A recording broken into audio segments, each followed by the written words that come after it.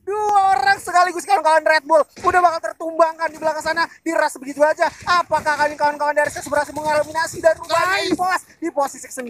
Tapi kali ini mencoba untuk di kelas karena depan sana dengan turbo vector dari seorang